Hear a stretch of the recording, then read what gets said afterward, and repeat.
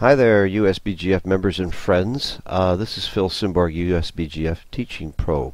I'm posting this video directly on the USBGF Facebook site for anyone who visits the site to see, and I just want to give you all a taste of what you can see uh, many more of if you're a member of the USBGF, because many of them that are posted are simply a link, a teaser, and a link to the USBGF site, and if you're a member you'll see the answer. Uh, we are doing this to encourage membership and to reward our members of the USBGF by providing these video lessons. And uh, if you're not a member of the USBGF, whether you are a U.S. citizen or not, we have many members who aren't, we would encourage you to join, not just so that you can see Phil Simborg's lessons and videos. There's about 40 other major reasons to join. Most of them are benefits to you Many of them are benefits to backgammon overall, so please give it some thought. Go to the website, take a look at the benefits of joining. Please support the organization, even if you don't like my lessons. There's a lot of other good things going on. We've got a lot of other very good people and and uh, uh, top players and teachers who are there to help you and to work with you to improve your game and to help promote the game of backgammon. Now let's get into this position. Red has a 3-1 to play on the bear off. How do you play it? Score is 11 away, 11 away and blue holds a 2 cube, and red has a 3-1 to play. Okay, you can clear the 6 point, or you can make a more aggressive play of taking one off and hitting. And taking one off and hitting is right by a lot. But here's the interesting thing. You not only win more gammons that way by putting the second checker on the bar, you actually win a little bit more in terms of games. Gammons, you win an extra about 5.5% more gammons, but you actually win another 1% games. And that fools people a lot. Well, think about what happens, what we call is the most common variation, what's most likely to happen. Most of the time, he's not going to roll a 1.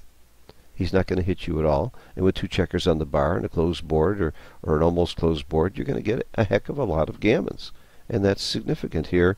And at all score, in most scores, it's very significant. But the other thing is, let's look at the other play. I'm going to click on the other play and hit final, so you can see what it would look like. Oh, that's that's by the way, that's the second best play. As ugly as this looks, it's still because his board is so bad and has a blot. That would be the second best play. What most people think of doing is this play.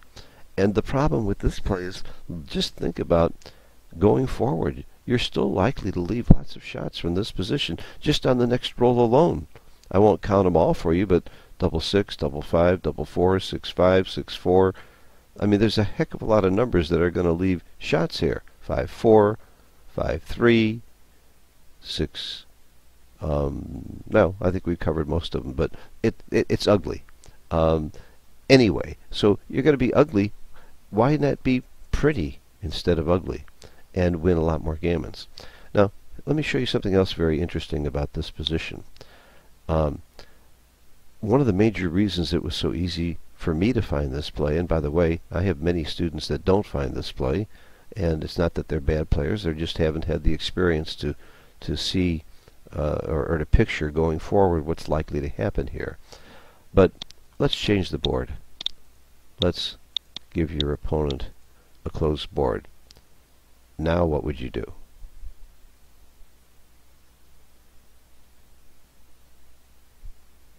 It's still right to make the same play. Again, think about MCV, most common variation. He's going to come in and hit you. If the worst case scenario, he comes in and hits you.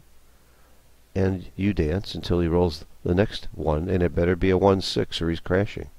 And even if he rolls a 1 6, well, if he rolls 1 6, you're in pretty big trouble. But, but he better roll a 1 6. There are 11 ones. And there's only two of those 11 ones are 1 6s. There's 1 6 and 6 1. So 9 out of 11 times, when he does roll that 1, he's crashing his board. Well, let's do one more change, just for the interest of this position. Let's put the checker here. Let's go back to the original position. We're there. How do you play 3-1 now? I guess it wouldn't shock you because of the quiz factor that it's still right to hit. Unbelievable. Even though he can come in with a 1-2, a 1-3, or a 1-4 and not crash, it's still right to hit. Because even if he does come in with those numbers, then the next roll better be a 6. So you've still got a lot more equity this way. Now in this case, you truly are giving up some wins with this play because of that potential. You're going to give up 5% wins, but you're gaining 11% gammons. So if a gammon value here is about 0.5, it's actually worth about 0.52. You're still getting enough. You're still getting enough between the two plays to where it's right to uh, it's right to make that play uh, of the hitting play. Okay, I'm sure you're thinking about it. If you're thinking at all, you're going to wonder what happens when you put the checker here, and that's where you hit the plateau. That's where you've reached the, the tipping point, and even here it's close. 0.012 is the difference. So, what's the the uh, answer here? The answer here is that you have to consider the risks and rewards and try to weigh them on the next play. How can you do that intelligently? You do that intelligently with deliberate practice by taking positions like this, studying them, looking at them, looking at the numbers. Thank goodness we have these numbers to look at. 25, 30 years ago, we were just guessing at these numbers or we were playing the game out a hundred times by hand to see which one worked more.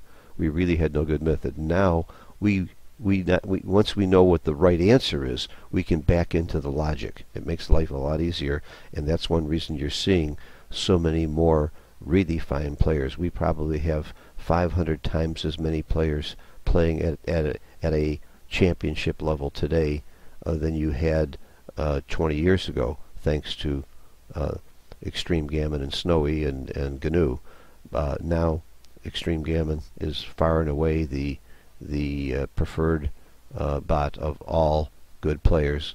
And if you don't have it and you really want to improve your game, go to www.extremegammon.com and uh, they will ask you where you heard about it. One of the drop downs is Phil Simborg. If you name me, I get rich. I make five bucks. But I'll also give you a free tutorial on how to use Extreme Gammon. Uh, so you email me and tell me you just got it, and I'll set up a WebEx with you, and I'll walk you through it and show you how to play it.